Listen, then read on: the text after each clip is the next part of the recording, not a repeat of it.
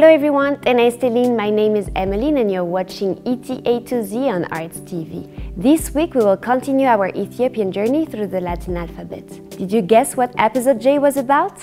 Jazz.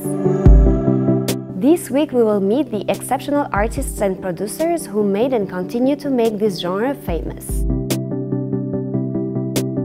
We will enjoy some great jazz, will also have the honor to meet one of the titans of Ethio jazz, Girma Beyene.